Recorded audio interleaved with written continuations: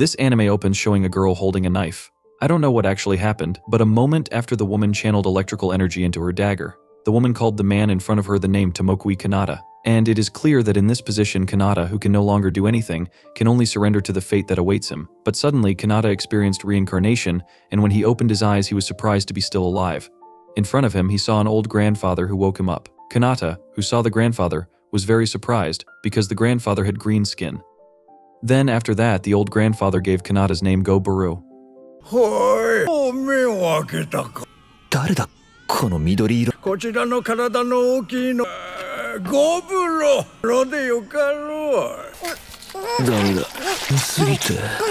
On the second day, when Goburu woke up from his sleep, he was surprised because he was surrounded by green-skinned babies, and Goburu realized that he was born as one of the goblins without powers. On the third day, Gobaru is now an adult and believes that goblins are a fast growing species. Gobaru was very grateful and said in his heart, What is his place like? What is he like now? The most important thing right now is his second life, and he will make good use of his life. On the fourth day, the goblins gathered, and the old man gave food to all of them. The old grandfather then explained that this food was the last meal for all of them, and the old grandfather said that tomorrow they would have to find their own food. After that, Goburo came out of the cave for the first time and he looked up at the sky and the sun. There were even some strange birds scattered around, and there were some strange plants that he had never seen before. Not long after, one of the goblins approached him behind him. The goblin was named Gobkichi. After getting to know each other, Goburo and Gobkichi hunt together for the first time.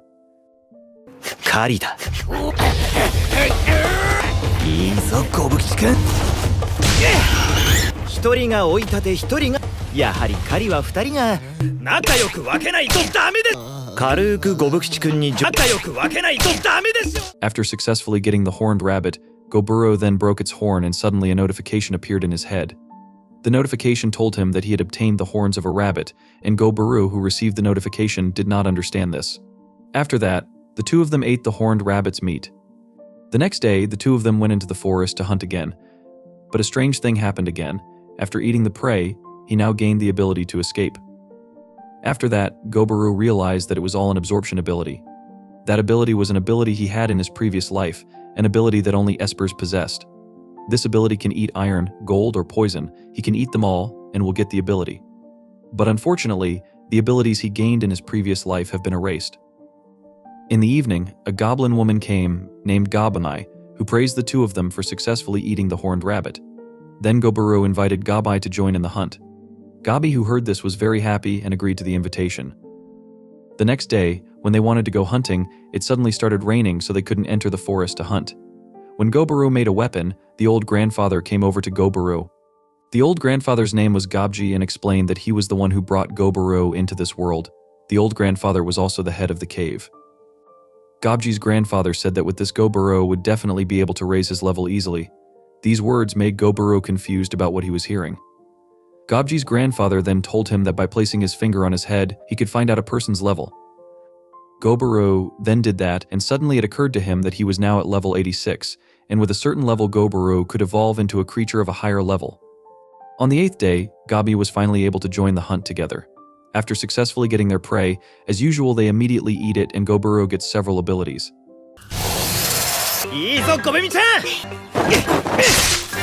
バックアップのゴブミちゃんそしてフォワードのゴブ吉くんサーモグラフィートレランス・ベノムこのヘビ今の俺を At night, when Goburu was fast asleep, it suddenly occurred to him that Goburu had now reached a certain level, and then another notification appeared telling him that the evolution had been successfully completed. When the choice notification appears, Goburu selects yes. The next day, when he woke up from his sleep, he was surprised because he had evolved. Where now his body is like in the past, at the same time the Gobkichi has evolved too. To praise their new abilities, the two of them then went to hunt the wolf beast. After successfully defeating the wolves, Goburu again gained several new abilities.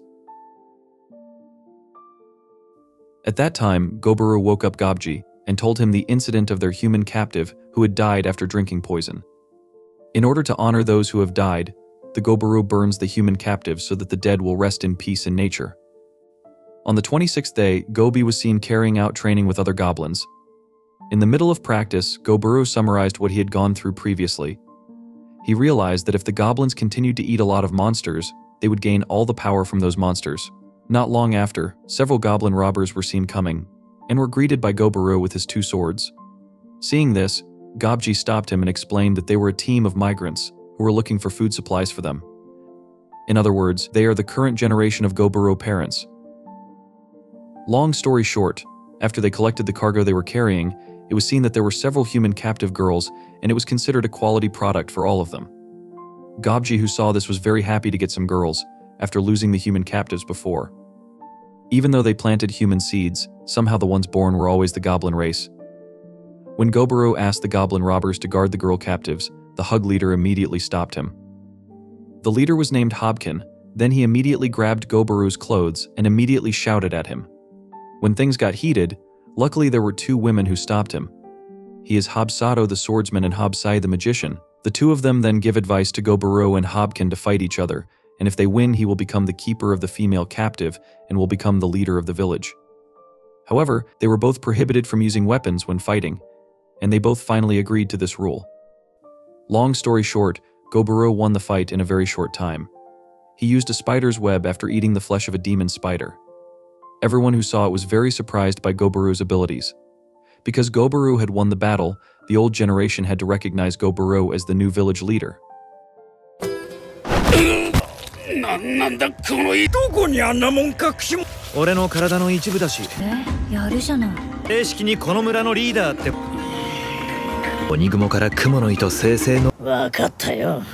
After the fight was over, Goburo took the female captives to a storage warehouse. He also told them that no goblin would touch them all. The girls were very surprised that Goburo would not harm them all. Goburo even promised to return them all to their respective places. Then the red-haired girl, Rubelia, asked what Goburo wanted in return. At that time, Goburo answered that he wanted knowledge from humans. In the afternoon, Goburo was seen punishing two older generation goblins because they dared to disobey his orders. As their grudges escalated, the older generation of goblins broke the Goburu's rules to touch the girl captives. But just when they wanted to give vent to their lust, Goburu suddenly came and slaughtered all the goblins who refused his orders. Not long after, Gobkichi and the others came. Goburu immediately ordered Gobkichi to take Hoban out, as well as his subordinates and summoned the goblin raiders to gather outside. That's how Goburu controlled the situation, as well as showing off his power and strength from the goblins. Some of Hobkin's subordinates were still alive even though they were dying, unlike Hobkin who had to die the next morning. Long story short, you can see the Gob which has now evolved into a strong goblin like Guburo and the others. After that, Goburu divided the tasks into several divisions, the weapons division led by Gobkichi, the arrow division led by Gobmi, the sword division led by Hobsato, the magic expert division which had no one yet led by Hobsai, and the simple task division led by Gobi. After giving orders to each division to train their subordinates, Goburu entered the forest to look for monsters to increase his strength. Long story short, Goburu entered the northern forest, even though there was a prohibition against entering the forest. Because in the forest there is a forest ruler named the Red Bear. Unfortunately, after a few seconds Goburu entered the forest, he immediately met the forest ruler, the Red Bear. After the magic skill of the Goburu was sacrificed with one hand, the Red Bear looked angry when facing the Goburu. The claws of a red bear can even tear apart a super thick body, clearly making the Goburo continue to dodge and hope that it doesn't get hit by the claws. Goburo then launched his spider thread skill to stop its movement. But unfortunately, the red bear managed to free itself and let out a fire that could heat up the forest area.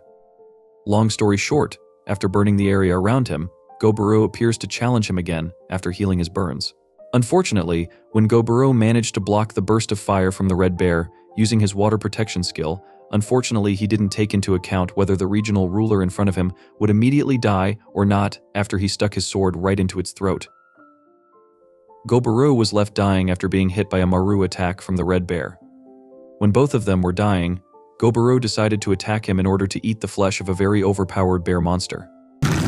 か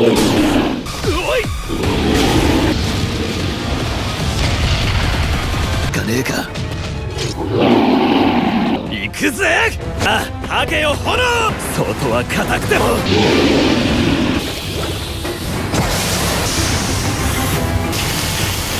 だからどうだ。食いがいがあるってもんだろ。え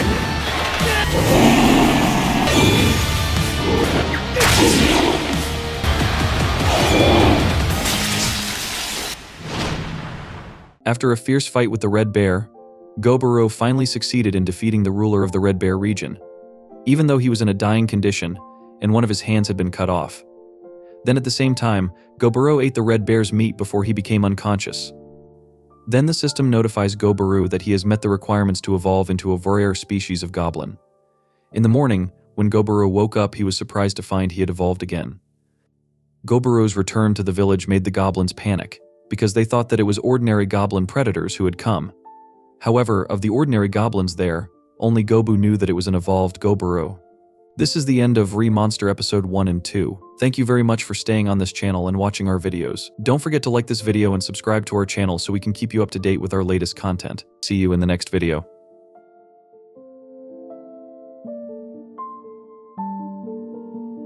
This is my recap of the third and fourth parts of the Re Monster anime. You can watch the previous parts with the link in the description below at the end of the last episode.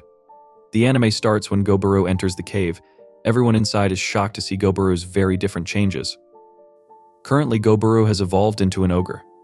Even one month after being born, he managed to defeat the ruler of the northern forest, namely the Red Bear. On the 36th day in the morning, after doing training the goblins were seriously injured. After he delivered an attack using little force, even the armor used by Gobkichi was almost destroyed. Therefore, they had no choice but to stop the training, after treating one of the goblins who was injured as a result of the attack. On the 37th day at noon, when everyone had done a little exercise and was resting, suddenly Gob came shouting for help from Goburo. It turned out that Gob was carrying a woman from the village who was seriously injured, even her whole body was covered in blood. While Goburo was administering first aid, Gobi explained that when he was digging in the ground, it turned out he was already there. After recovering from her injuries, the woman introduced herself as Returner. She explained that she had been attacked by several humans. Then Goburo looked at Returner's forehead and there was a jewel. He explained that the jewel was a high-level material, and if the jewel was sold, it would probably be worth up to 1 billion gold, and that might also cause human race adventurers to target it. Then Returner prostrated himself in front of the Goburo and asked for help to get rid of the human adventurers.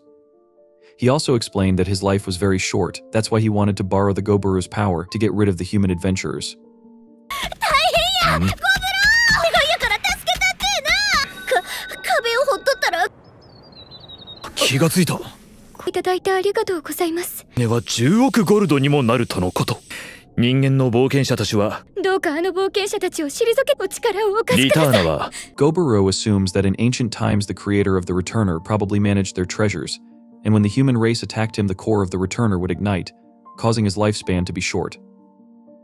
Then the Returner explained that inside the treasure there was a legendary item that Velvet had collected in her lifetime. The Returner told them all that the Creator really hated the human race. The Creator didn't want their treasure to fall into human hands. He also explained that his master would definitely give the legendary item to Goburo, because he was sure that his master would definitely give him all the treasure. Hearing the Returner's explanation, Goburo immediately agreed and ordered the goblins to go to the treasure room that the Returner had mentioned. Goburo explained that he would only chase away the humans, and he would try his best to persuade them all, but if Goburo failed, he would use a little violence. Long story short, they went to a hole that had been dug by Gobe and walked straight to Velvet's treasure room. The first thing Goburo will do is try to persuade them all, and he asks Gobkichi to hide with the others. That's why Goburo himself will meet the adventurers. After Goburo met the adventurers, suddenly one of them attacked Goburo. But the attack was easily read by Goburo. Immediately Goburo said with stupid people, Don't you know that this is someone's place, and you want to kill the owner of this place? You even want to take other people's treasures without saying anything to the owner, right? That's what is called robbery and murder. Because he was annoyed with Goburo, one of the human races attacked Goburo. As a result of this incident, Goburo was very angry, and he attacked the adventurer along with the other goblins. After successfully defeating them all, Goburu took the adventurer's items, then ate them and gained various abilities. After that, they all headed to the deepest place where all the treasures were kept. At that moment, the returner was very happy because he had been helped by Goburu and then disappeared in front of Goburu. Then a gem from the returner fell into Goburu's hands, and Goburu swallowed the gem and gained a new ability. He then decided to burn the Velver, but a legendary level artifact fell and Goburu used it on his left hand. After using it, Goburu gained various powers, and now his left hand has returned to how it was before. On the 39th day after completing the mission, Goburu gave 10 weapons to the hobgoblins. Goburu himself took three legendary class items, including the Kazaklube Vermilion Spear. Goburo then explained the levels of an item, starting from inferiority to phantasm, while the item that Goburo took, which was just below phantasm, was believed to be able to rule a country. On the 41st day, Goburo, who was hunting in the forest, found a very beautiful giant tree, illuminated by sunlight which made the tree even more beautiful. After seeing that the tree came from a species of dryads, it was believed they could influence men of other races as their source of nutrition. With their cute faces and smooth bodies, dryads are able to deceive men. Long story short, a woman from the Dryads approached Goburo and teased him. Even though Goburo had tried to resist the temptation, unfortunately Goburo's mentality was not strong enough to resist it. However, instead of becoming nutrition for the Dryads, Goburu actually got a new ability called the Dryad's Blessing.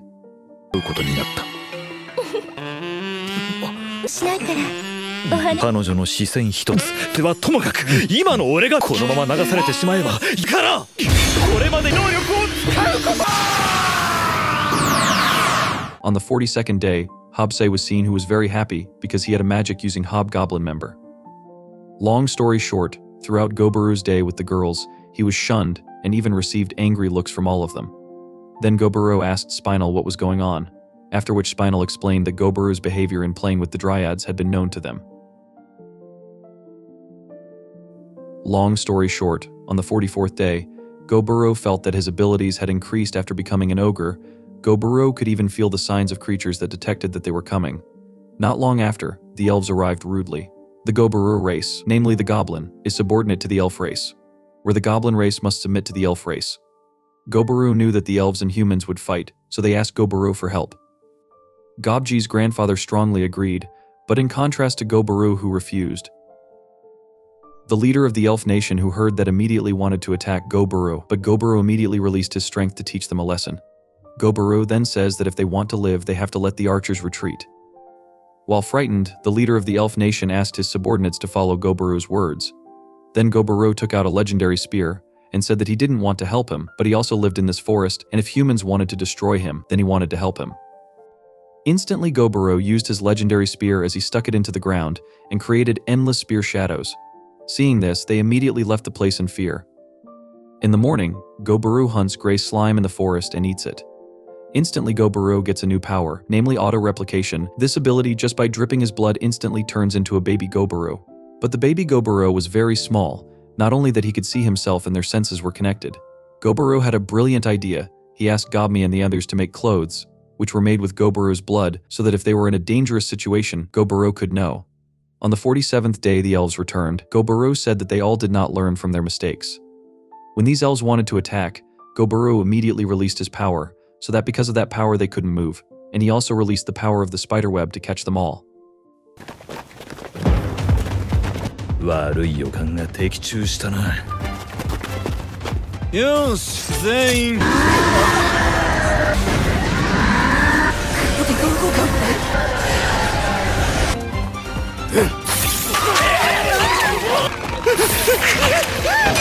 どうしてまた On the 48th day, Gobkichi was seen fighting a monster in a forest. After defeating him, Gobkichi has reached level 100, which means he can evolve to the next stage. The next morning, the hobgoblins were shocked because the Gobkichi had evolved. Gobkichi has just evolved to the special variant stage, where the skin of the Gobkichi is demigod of flame skin, which is very hard. Gobkichi doesn't want to compete with Goburo, but he doesn't want to be left behind by Goburo's changes. Then Gobkichi invited Goburo to fight together, which Goburo agreed to. During the fight, they both attack each other, but Goburo quickly defeats Gobkichi. He is the strongest because he has several advantages in fighting. From this fight, it was proven that Gobkichi had become his rival. During the break after they fought, Goburo suddenly dreamed and saw a shadowy figure who said sorry, and he wanted to ask for help and give something. Then Gobi invites Goburo to show something, and it turns out that the hobgoblins have evolved because Gobkichi motivated them all. Furthermore, Hobsey had evolved when he woke up in the morning, and it seemed like Hobsey had grown into a family of lords. Usually the lord's family didn't have such a mark, and this mark turned out to be almost similar to the Goburo mark. After that, they all tested their new abilities and the results made Goburo very surprised, and it was very likely that Hobsai would evolve into a spell lord later, and Goburo gave Hobsai new clothes and a magic wand. 今朝彼女がなったのはハーフスペルロードらしい。何をぼさっとしているか能力がどれくらい上がった。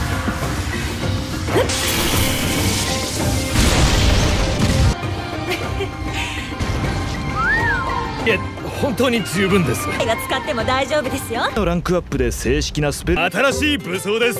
慣れちゃった。さとちゃんも。ランクアップ率が異常に俺であることには間違いないだ。On the 53rd day, while searching in a forest, Goburo saw a human being killed by someone. He thought that humans had unique abilities, and when Goburo killed him, he got the abilities of that human figure. At night, Spinel shows the results of her discovery to Goburo. When Goburo tried it, he thought it was Sake, and this made Goburo happy with the discovery. On the 57th day, it was seen that Gobi had succeeded in defeating the unicorn beast. After that, Goburo tried the monster timer's abilities on the unicorn, and as a result the animal became their first tame animal. And at that time they also got other animals such as black wolves, which now serve as guardians for women from the human race. On the 59th day, something very surprising happened to Goburu, where Rebellia, who thought she was a novice knight, has now evolved into a formidable knight. When Goburo ate some meat, suddenly Rebellia asked for that meat too. When she ate the meat, Rebellia suddenly got a job, namely Noir Soldaf. Rebellia is required to eat monster meat, otherwise she will die, but if she succeeds she will experience a tremendous increase in strength. At night, Goburu found out that the kobold race was being chased by something. When Goburu wanted to find out who was chasing him, he couldn't see him because at that time the sky was dark, even though he had used his detection ability. Because of this, they were all ready to confront him, and it turned out that what was chasing them was a skull monster made by magic. After defeating the monsters and successfully saving the kobold race, they all thanked the Goburu while prostrating themselves before him. Goburu then told them all to mention the wound first, after which they would talk about what had happened. This is the end of Re Monster episode 3 and 4. Thank you very much for staying on this channel and watching our videos. Don't forget to like this video and subscribe to our channel so we can keep you up to date with our latest content. See you in the next video.